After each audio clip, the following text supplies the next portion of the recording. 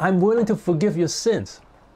Though your sins are like crimson, I will cleanse them, they will be white as snow. So that's how wonderful God is. So we read the Bible as it is. And Jesus tells us to do things and he gives us all kinds of promise. He said, dwell in me and I'll dwell in you and then you will bear much fruit. And then you dwell in me and my word dwell in you and then whatever you ask of the Father, he will give you. So Jesus gives us all kinds of wonderful blessings, promises. So when you see these promises, we'll say, wow, God, you're so wonderful. The more we understand these promises, the more, more we'll appreciate God. And also, um, when we look at how God has blessed us in the past, we'll say, Thank you, Lord, you have blessed me in the past. And also, we examine ourselves why don't I trust God? Why don't I trust God? Why do I, why do I, uh, uh, why don't I have a good relationship with God? What are what are the things that blocks my relationship with God? And then we examine our lives, and then ask God to help us, and then God will bless us. God will, you know, examine our lives and then uh, change our life. So that's how that we read the Bible more uh, to understand God's nature. We pray more to enjoy God. Now, to have strength from the Lord, we don't pray like this. Oh Lord, have mercy upon me. Lord, heal me. Lord, give me strength. Give me money. Give me, you know, just asking. When people ask, they don't necessarily feel joyful and peaceful. But we can rejoice in the Lord and praise God. Thank you, Lord. Thank you, Lord. You're so wonderful. You're kind God. You're a wonderful God. Praising God, loving God is the way to have strength. God, you're full of mercy and kindness. I love you. I like you. I adore you. I enjoy you. I want you. So when we pray like this, God is happy with us because the Bible says that, you know, for those who love Him, that the, the blessings of God will be things that eyes have not seen, ears have not heard, and the human mind cannot think of, that He'll prepare for us. So, so the way is to enjoy God, to count His blessings, to relax in God, to look at all the blessings of God and say, God, you're so wonderful and take care of our sins and problems, whatever hinder us. Whatever hinder us, we want to take away those things and then repent and change our life. Now, it's very important when we write how, it's very important how to be connected to God, how to connect to God, and to have strength from God. Some passages, Matthew 6:14, For if you forgive men their trespasses, your heavenly Father will also forgive you. But if you do not forgive men their trespasses, neither will your Father forgive your trespasses. So here the passage says that when we forgive people their sins, your heavenly Father will also forgive you. But if we do not forgive men their trespasses, neither will the Father forgive our trespasses. So God will forgive us. God will forgive us when we forgive people. And God is very happy. God is very happy that um, we forgive people and God will bless us. Okay, examples. Many people cannot forgive. I have I have seen many Christians. They talk about how terrible some people are and they are not happy with them, that they are angry with them, and they uh, complain about people. That there are Christians who always complain about other uh, complain about other Christians, about other people. So those are examples of people cannot forgive. And when they cannot forgive people, what happens is that they will have a lot of bitterness, a lot of anger, a lot of frustration. This passage is very simple and clear. And let's look at the outline here. And then the nature of God God is a forgiving God. God is willing to forgive us, God is happy to forgive us. And the grace of God, He forgives us our greatest sins. And God is pleased with those who forgive others and He will forgive those who forgive others. So God forgives our greatest sin, any great sin we have. God is happy to forgive us. And He's pleased with those who forgive others people. When we forgive other people, God is very happy with us. And He'll forgive us. He'll please with us and He'll forgive. So God give us a heart of forgiveness. Actually, when we have a close relationship with God, we will have a heart to forgive people. When we have a good relationship with God, God will change our hearts so that we want to forgive people. That is how God is. God has this wonderful nature. When He dwells in a person's heart, He will change a person's life. He will, He will, um, He will uh, bring forgiveness to that person. Okay, why is it hard to forgive? Because when people look at other people's faults, when people uh, always count people's faults, then they will be always angry with people, then they're unhappy with people, and then they will, you know, what happened is they will, it's hard for them to forgive. So when people, okay, now, um, so why is it hard for people to forgive? Because people get used to looking at people's faults, they count people's faults, and so they, it's hard for them to forgive. And warning, when we don't forgive others, we are not living out God's nature and we could face God's judgment. And then how we can forgive other people. So the way to forgive other people is first count how God has forgiven us so many times, how we have sinned so many times, and God has forgiven us, and God continues to work in our heart with the Holy Spirit.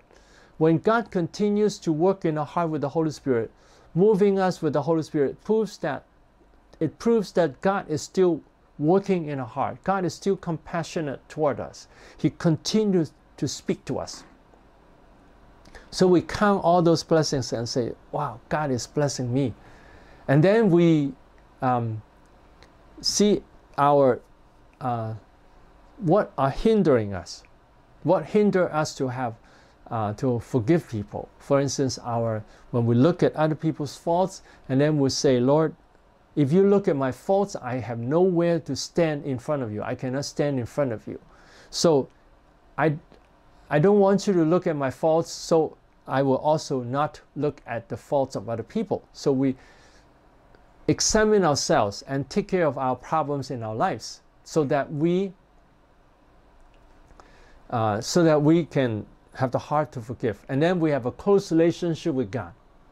And then uh, so when we praise god and love god then the joy of the lord will come we say god you're so wonderful you have forgiven given me so many times you have blessed me so many times i'm so i'm very thankful i want to enjoy you i want to love you i want to uh, bless other people. I want to forgive them. When I forgive them, these people will be blessed and I can help them to change when I forgive them. And then I will be blessed by you also. So these are some ways, uh, whatever way we can think of. And now I have talked about four ways to talk about how. Okay, how first look back at how God has blessed us. Look at how God has blessed us. That's one point. And the second point is um, have a close relationship with God. Praise God and love God. And then we'll have strength. And then, third, examine our hearts. What are some reasons why we sin? And then ask God to forgive us and change our life. And then, four, when the situation arises, what do we do? When we are angry with someone, what do we do? We can first calm down. We can pray to God.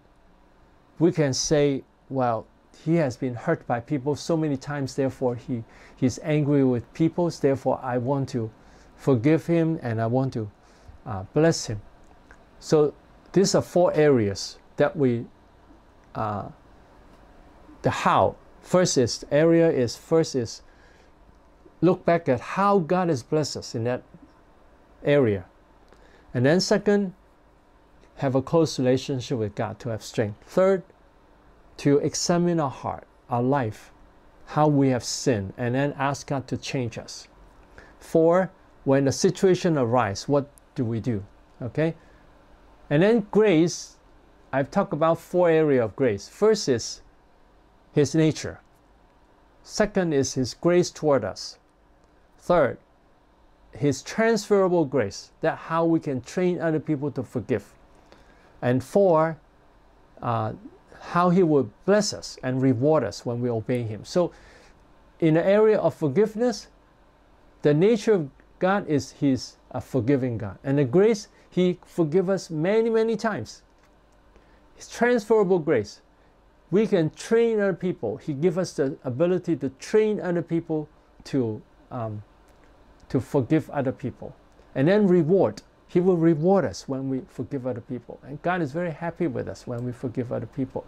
So if you forgive, uh, follow this outline. It's not so hard to write the sermon to motivate people. Now, after you mature, you don't have to follow this all the time. But this is a good way to follow. And the two areas we want to concentrate is one is nature and grace, and then the other is how. These are the two areas we want to concentrate in that we must have. Okay, now Matthew 6 19. Do not lay up for yourselves treasure on earth, where moth and rust destroy, and where thieves break in and steal but lay up for yourselves treasure in heaven, where neither moth nor rust destroys and where thieves do not break in and steal. Okay, so here Jesus said, Don't lay up for yourself treasure on earth, where the moth and rust can destroy the treasure on earth. And today, nowadays, uh, the uh, different thing, uh, the depreciation, depreciation of money you know, the money can go away. And political change, the money can go away. So the money doesn't stay forever on earth. But lay up for yourself treasure in heaven. That we, if we give, give offering to God, the money is stored up in God, in heaven. Then there, there's nothing that can take away the money. And then the thieves cannot break into steal, and then God will reward us. Um, when we faithfully tithe to God and give offering to God, God will be very happy and God will bless us. Okay? So here the outline. Examples. Many Christians don't tithe faithfully. Many Christians they think that is a loss for them if they tithe, if they give offering. So many people now it's not true that only the poor people don't give offering. It's Many rich people too, they have a lot of money, but they're not willing to give. And if the Christians are faithful to give offering, the church will have a lot of money to do ministry. And then nature of God. God owns everything. He is a caring God. God owns everything. Everything it is in hand is in his hand. He can bless Africa. If all the Christians in Africa pray together and love God and obey God, God will bless your countries. So please believe that God can bless the country.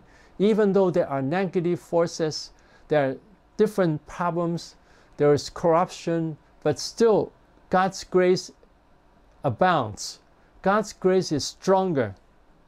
So God has everything. And He's a caring God. He cares about the Christians who love Him and follow Him. And then grace of God, God remembers our offering and will keep our offering in heaven forever and will reward us. So God will keep our offering on in heaven and he will forever reward us. So as I talk about nature and grace, there are four areas again. First, the nature of God. He's he owns everything. He's a giving God. He's a caring God. So, and then grace. God has given us many, many blessings. I will send you the, the slide later, this slide of the different points of God's nature uh, and grace and how, okay? And then the third point is transferable grace, that we can help other people, train other people to give offering faithfully, and then it will change our life. And then fourth, He will reward us when we when we uh, give faithfully. So the four four areas is first his nature. Second is uh, his grace toward us. Third is transferable grace to bless other people. And fourth is reward and blessings. Okay, why many Christians don't have faith to give offering faithfully? This is for us to understand, for people to understand why they don't have the, uh, the faith to give offering so that it will speak to the people's heart. Why? they cannot do it because they think that when they keep the money, they will have more money. But actually, it's not true. When they keep the money, they actually will lose money. Christians who are faithful in offering, they actually they are provided by God more than Christians who are not giving faithfully. When we give faithfully, God will bless our whole life. God will give us more joy and strength. God will give us provision. God will give us wisdom to serve God, to help more people, to bear fruit. Okay, and then warning. When we just keep our treasure on earth, our treasure will perish. So this passage says that it will perish. When we have one serious sickness, all the money could be gone. When a person has cancer, no matter how much money he has, is useless to him. So money will go away on earth. So that's the warning. And how? Okay? How can we have strong motivation to offer to God faithfully? First, uh, think back how God has blessed us. Okay? Remember the four points. Now you can use your thinking to find different ways to say how, but I'm suggesting the four points so that it's easier for you. The first is to think back how God has blessed us when we offered to Him in the past. How God has blessed us so much. So that will motivate us to continue to give offering. That's the first point. And the second point is have a close relationship with God. When we have a close relationship with God, then we'll have more joy and more strength. And we'll have faith that, yes, Lord, the Lord will provide for me. And then the third point is handle the problem in our heart. Do we have fear that we might lose the money? Do we have fear that, that God will not provide for us? So when we have the fear, how can we handle it? The way to handle it is to think about how God has blessed us in the past. So if God has blessed us in the past, He will also continue to bless us. He will continue to help us. So we don't want to look at the problems now. As God has blessed us in the past, He will continue to bless us in the future. So so take care of that fear inside us. And the fourth point is uh, when a situation arises, when we have no money, when we have the fear, what do we do? Then we say, Lord, you have been faithful to me in the past. Will you stop being faithful? You won't. So help me to have the faith in you that I can give to you faithfully and you will continue bless me. So uh, these are four ways. Now you can use other ways to, to motivate people uh, to give offering. Okay, now Matthew 6 26. Look at the birds of the air, for they neither sow nor reap nor gather into barns, yet your heavenly Father feeds them.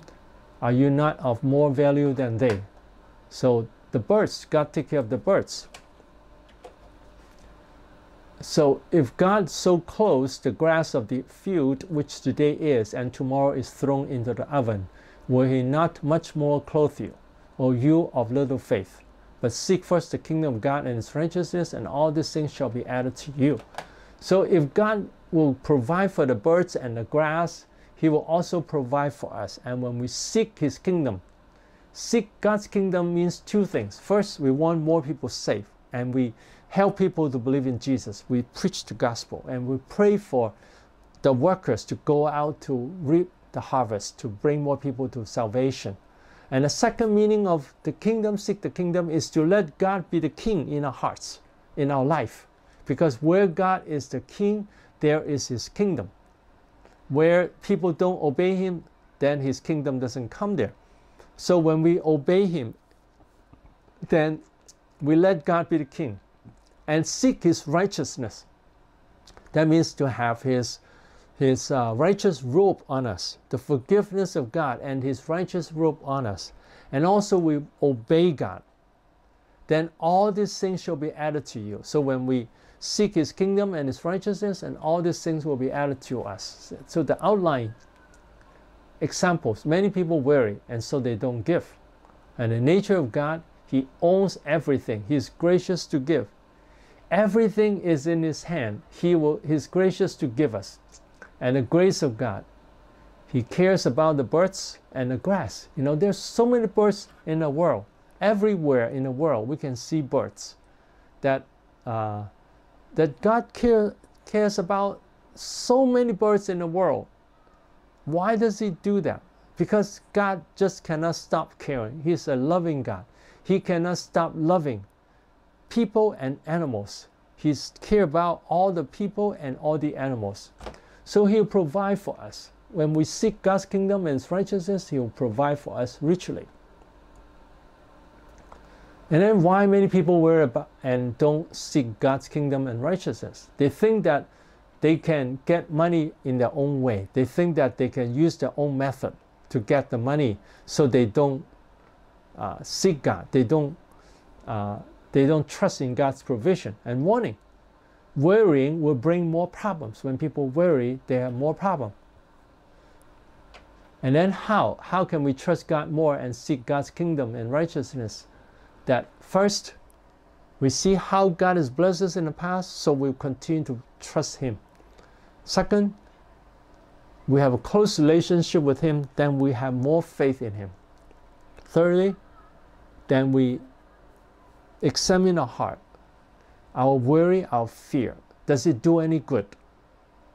And we look at people who, who don't worry and who trust in God. Do they have less? So we see that, wow, there's no reason for me to worry.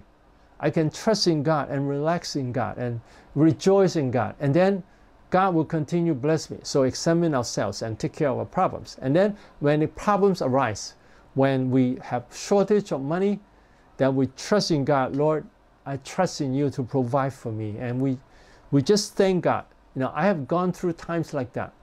I've gone through times that I did not have any income. And I just continue trusting God. God, you will open the way for me. You will have a way to bless me. I ask God to help me. I ask God to provide for me. And God, eventually, He helps me.